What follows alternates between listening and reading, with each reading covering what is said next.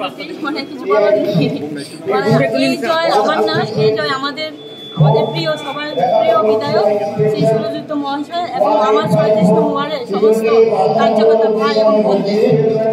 এই যে জয়ী হয়েছিল আপনার আহ, কাউন্সিলে পুর নিগমে পা রেখে প্রথম কি কাজ হইব আপনার এলাকার এখন কি কাজ হবে এটা আমার আমার যে আমাদের এমএলএ ওনার এবং আমাদের পার্টির নির্দেশে আমি আগামীতে একজন মহিলা হয়ে মহিলাদের উন্নয়নে কি কি করতে চাস?